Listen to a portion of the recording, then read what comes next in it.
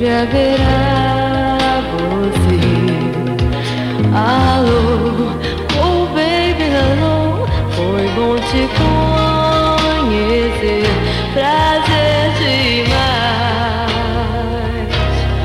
Não nos veremos mais, pra nós até.